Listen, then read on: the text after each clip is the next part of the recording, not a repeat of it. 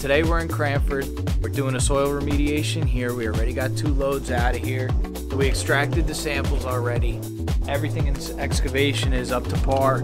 We checked everything with the PID. The subsurface evaluator is confident with um, with sending these samples out, so we will be able to get the NFA letter as long as they all pass.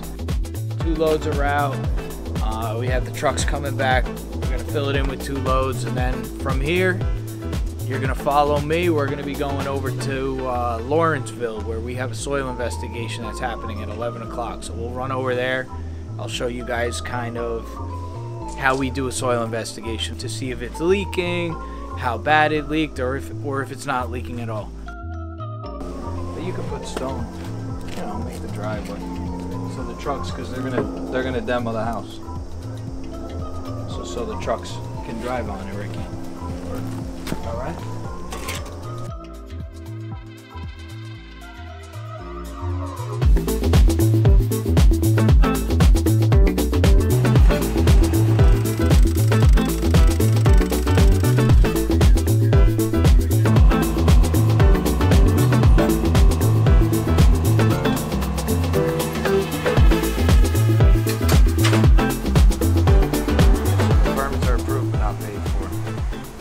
Permits ready. We sent the check two days ago, 68 bucks. So we're, and then I don't know. This is it.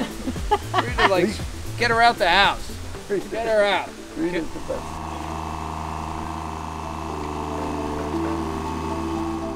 So we made it from Cranford. We're down in Lawrenceville. Uh, we just wrapped up a soil investigation for a fixed price. What we did here was we delineated the area where the oil tank came from. Previous company removed this tank. There was corrosion holes.